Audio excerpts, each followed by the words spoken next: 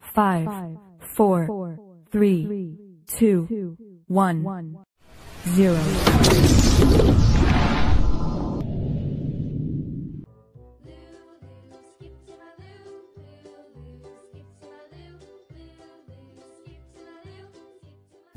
Assalamualaikum warahmatullahi wabarakatuh.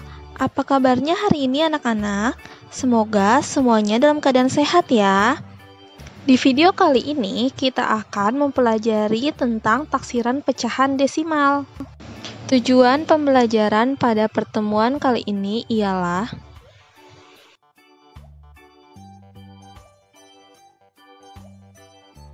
Jadi, apa itu taksiran pecahan desimal? Taksiran pecahan desimal adalah menaksir hasil operasi hitung dengan cara membulatkan semua suku kesatuan atau puluhan terdekat. Yang pertama, kita akan menyimak terlebih dahulu penjelasan dari taksiran operasi hitung penjumlahan dan pengurangan. Yuk kita simak anak-anak. Baik anak-anak,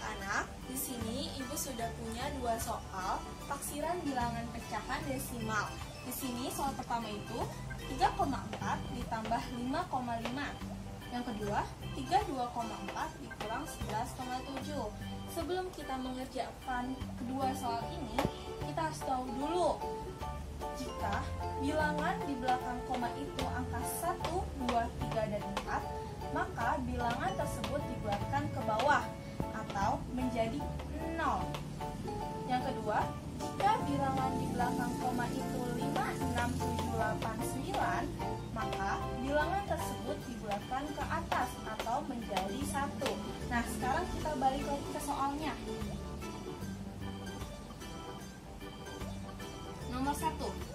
nomor 1 ini 3,4. 3,4 ini kita bulatkan menjadi kita lihat dulu 3,4 di belakang koma ini terdapat angka 4 sekarang di catatan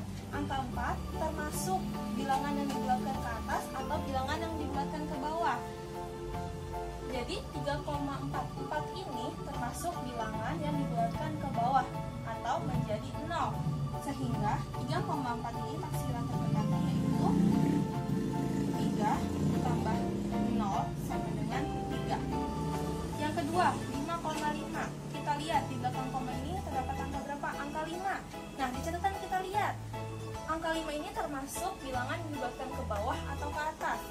5 termasuk bilangan yang dibulatkan ke atas atau menjadi 1 berarti 5,5 sama dengan 5 ditambah 1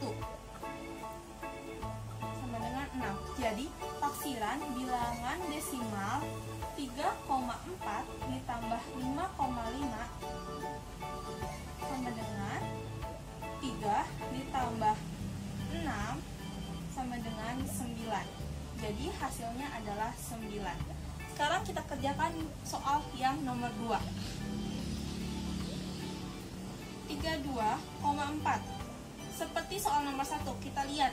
Yang di belakang komanya terdapat angka berapa? angka 4 angka 4 termasuk ke bilangan yang dibulatkan ke bawah atau menjadi 0 berarti 32 ditambah 0 sama dengan tetap 32 sekarang bilangan kedua 11,7 11,7 di belakang koma adalah angka 7 kita lihat angka 7 termasuk yang ke mana? ke bilangan yang dibulatkan ke atas atau menjadi 1 berarti 11 ditambah 1 sama dengan 12 jadi taksiran bilangan pecahan desimal dari 32,4 dikurang 11,7 ialah 32 dikurang 12 hasilnya adalah 20 jadi hasil dari taksiran bilangan pecahan desimal 32,4 dikurang 11,7 ialah 20 Sekarang, mari kita simak penjelasan dari taksiran operasi hitung, perkalian, dan pembagian ya anak-anak. Baik anak-anak, di sini terdapat dua contoh soal taksiran operasi hitung perkalian dan pembagian pecahan desimal sebagai berikut. Nomor 1, 2,3 dikali 2,8. Nomor 2, 8,9 dibagi 3,1. Untuk mencari hasil dari kedua soal tersebut, sama seperti soal penjumlahan dan pengurangan yang tadi. Yang harus kita ingat yaitu jika di belakang koma terdapat bilangan 1, 2, 3, 4, maka bilangan tersebut dibulatkan menjadi 0. Jika di belakang koma terdapat bilangan 5, 6, 7, 8, 9, maka bilangan tersebut dibulatkan menjadi 1. Nah, sekarang kita kerjakan nomor 1 terlebih dahulu.